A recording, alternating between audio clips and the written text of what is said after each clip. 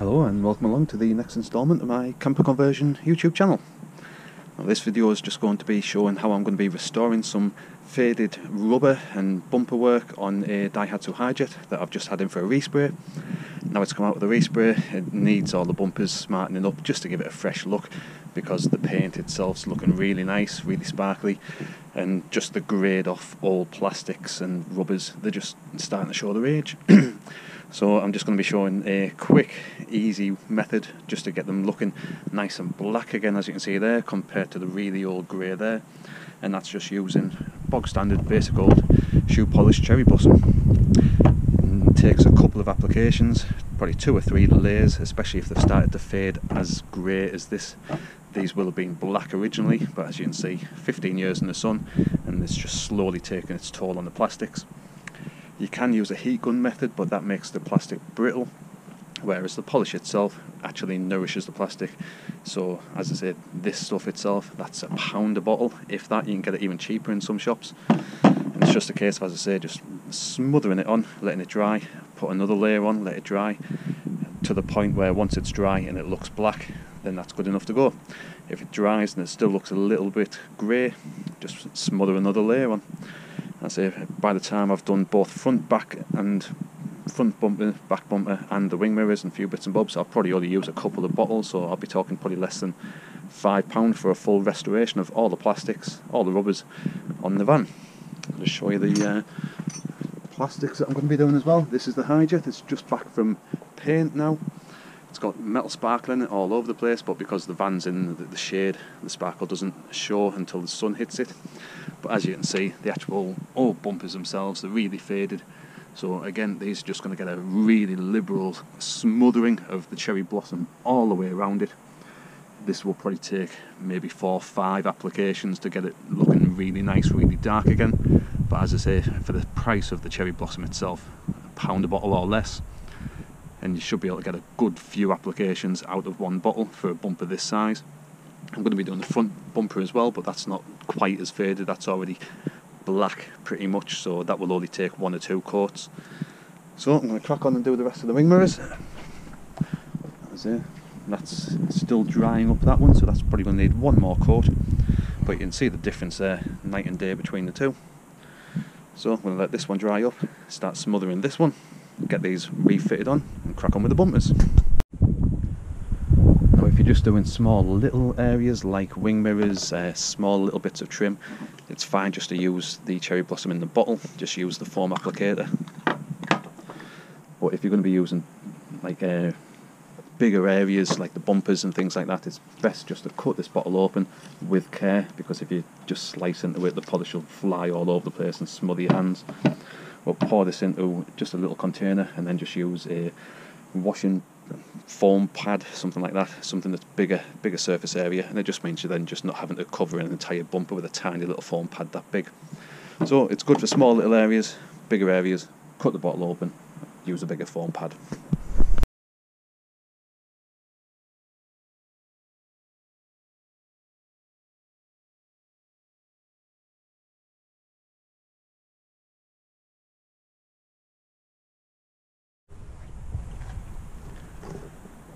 So this is the V-bumper before any application. I've just opened the tub up and just poured it all out with a little foam applicator just so it's a larger area coverage per swipe rather than using a tiny little foam ball that's on the end of the uh, tub. So as I say, get this all applicated around the uh, bumper and hopefully it should look nice, shiny and black by the time it's finished. Now this will probably need a good couple of coats, probably maybe up to five coats with drying in between just to make sure that it's getting it as restored as possible. As you can see it's well faded at the moment so hopefully it should come out looking a hell of a lot better than what it is.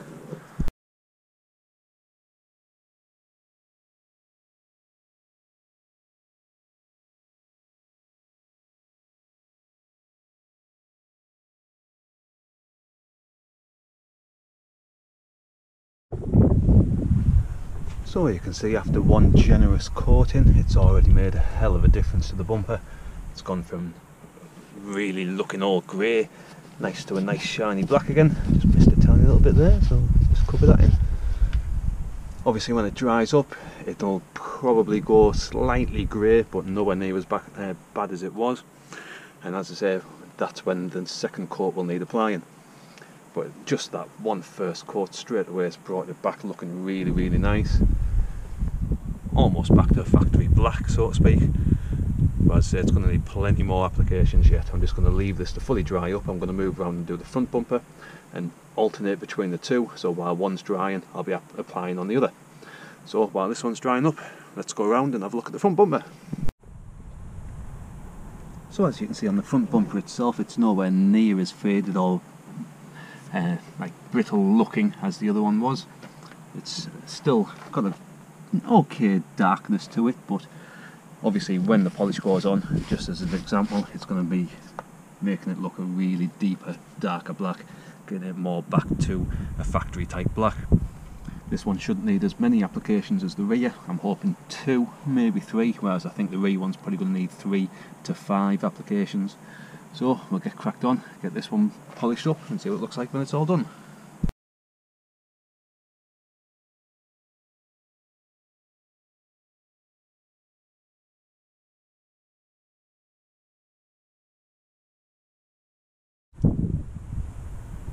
So there's a good liberal application on the front bumper as well and again that's just making it look nice and black, nice and shiny.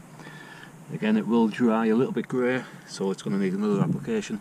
So while this one's drying we'll move back to the back, uh, back bumper and give that one another nice big thick application and hopefully that will start to get rid of the grey on the back. So the back bumper is pretty much dried up now and you can see the really really light grey has fully disappeared off the bumper it started to turn a darker colour so as I say hopefully one maybe two more applications and that should have the bumper looking really really nice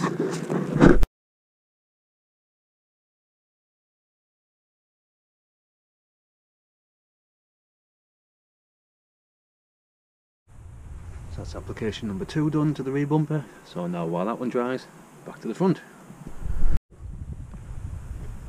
So I've been back and forth, back and forth on the front and back bumpers pretty much just to use up the rest of the tub and the polish that was in it. I say when one was drying I was applying it on the other. The bumpers must have had five or six coats, maybe even seven. I say I was just darting back and forth until the tub just ran out. And now it's all dried up as you can see it looks absolutely, well it's just transformed it compared to what it looked like before I started applying any of it. I say all of the dull brittle looking sort of grey faded plastic has gone. It's now fully refreshed back up to a nice shiny black. I'll just take you around the front as well show you the front one.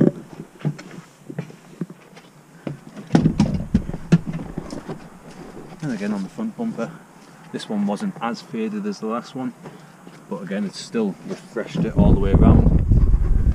Makes it look nice nice and shiny should protect the actual bumper as well because it does have wax within the polish as well. So any rain should just run straight off. It won't wash the polish off the bumper. So that's refreshed those as well along with the wing mirrors. As I say they were really faded grey as well and they've come back lovely and black as well. So there we go. That's how I've fully refreshed all of the plastics the rear bumper, the front bumper, the wing mirrors, the little surrounds on, on the sides as well same on that side. As I say, that was a really faded grey. It's just come out really, really nice. And obviously the polish won't take care of any scratches that are in the bumpers. All it will do is basically just cover over them so they'll look a lot nicer and neater. Like areas like that on the corner. It won't remove the scratch, you'd have to start sanding those away to if you wanted the bumper looking brand new again or as good as new. But just for a very, very quick refresh, I think this took a tub and a half to do the wing mirrors and the front and back bumper. I'd say it's for that pound fifty's worth, something like that. So for the sake of a pound fifty's worth of shoe polish, that's the front bumper, back bumper, wing mirrors, all the plastics fully refreshed and looking nice and shiny and black again. So I hope you found this video useful. If you did, do give the video a good old thumbs up. Have a look at my channel, there's loads of content on my channel from all the different van conversions I've done that includes different bumper restorations, full conversions, this, that, the other. If you haven't subscribed already, do hit that subscribe button. There's going to be loads more content to come. I've already got one project lined up and I've just went out and bought another one, so I'm going to be busy for the foreseeable future and that means plenty of content for the channel. So thumb up the video, have a look at my channel, hit that subscribe button and hopefully I'll see you in the next video. Thanks for watching, cheers.